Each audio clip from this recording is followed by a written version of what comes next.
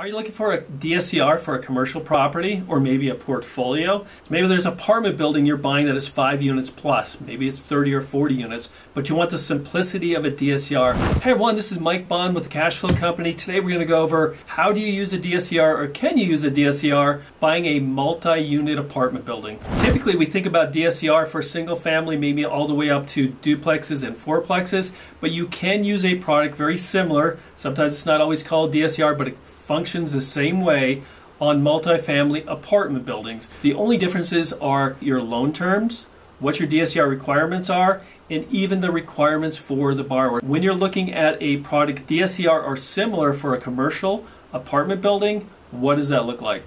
So remember, DSCR, what we're talking about here is a product that does not rely on income from the borrower or the borrowing entity. Typically, it is an entity like an LLC, a partnership, or something like that, but it does not look into or require income from the sponsors or the people who own the property. What it's looking at is the cash flow from the properties compared to expenses, just like any other DSCR. A lot of the commercial DSCR is looking for at least a 1.2 DSCR, which means your income has to be 120% more than your expenses. For instance, if your expenses are $1,000, your rents are $1,200. So it is 1.2 or 120% higher than your expenses. So let's look at what the differences are between a typical DSCR on a single family all the way up to a fourplex and a DSCR type product that is used for multifamily. A typical DSCR loan for commercial type properties are larger loans. So they're looking for anywhere around that million to two million dollars when you put everything together. So this is not for smaller three or four hundred thousand dollar purchases. This is for something that has more units and more value, typically starting out at around a million dollars, even though there are options for loans in the half a million dollar range. LTVs also are probably a little bit lower. You're looking at a max of 75%, where in DSCR you could get 80 and 85 on those single families. Typically the loan terms are different. It's more based on a commercial or a bank type product where you're going to find anywhere from a 3, 5, 7, or 10 year fixed period. Now they're amortized over 30 years or they can be interest only, just like a traditional DSCR. But what that means is they're only fixed for a certain period. The common ones are five and seven years. So they're fixed for five years or they're fixed for seven years. Then you either have to refinance them or they become adjustable. Depending on where the market is, if the market is going down, you might want to stick with it because the adjustable rates may be lower than you were even paying before. Either way, when you're looking at a commercial DSCR type product compared to single family, you're going to find that the terms, the fixed rate periods, are different and typically they're only five, seven, and maybe even 10 years. Now there are a couple requirements. I mean, typically they're looking for properties that have at least $50,000 in value or more. Minimum loan size are typically starting at a million dollars and some even $2 million.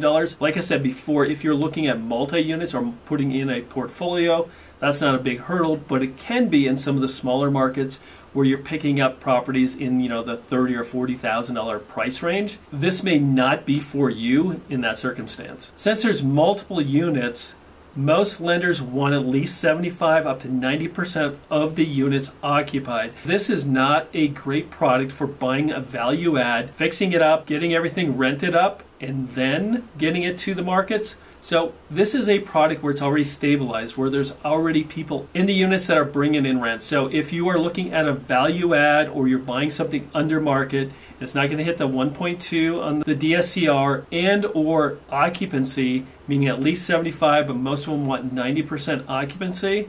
This is not the product for that. You're still to have to go through appraisals on every property, verify rents on each property. All of those things are required on this. Now this works not only for commercial properties like a you know six or seven or 20 unit apartment building or larger but it also works for portfolios. So if you have five or ten single families you want to put under one loan you could put it under the same product. You could have one loan on multiple units. As long as those units are typically worth a appraised value of 50,000 or higher. Another great benefit of this is they are non-recourse. Non-recourse means you don't have to personally sign or personally guarantee it. It is all based on your LLC. So the lender is not going to come back after you if something goes wrong and the loan goes upside down or you can't pay it or anything else like that. So non-recourse on these DSCRs is a huge benefit. But the big benefit is just like anything else, simplified because you don't have to provide all your tax returns. You don't have to show how long you've been in business and the income generated from other businesses. It's the same easy process as a single family, just more properties involved. But it is a great product. It is a simple product. As banks starting to tighten up, you could get into a commercial DSCR without having to go through all the hassle and timing of a bank. If you have a commercial property, this is a perfect loan for you because you're not going to have to provide all your tax returns, all your income, all the stuff that drags out. You just need a good credit score, a loan to value that is typically 75% and below, units that start at least the value of 50,000 per door per unit, but put them all together have to be a minimum of around a million dollars to qualify for a loan like this. If that works, you could use the same DSCR product for your commercial or portfolio loans.